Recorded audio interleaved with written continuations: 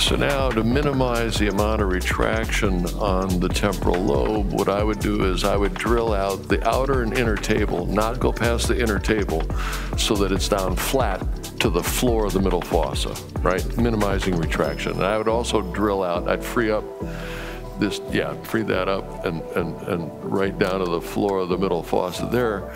Basically, you can go down to the, where the zygoma is, and that gives you all that middle, middle fossa. I think in this day and age where the resident work hours are limited, it's incredibly important for them to begin to understand three-dimensional anatomy in these prosections like this. It will make them much more facile when, the, when they're in the operating room.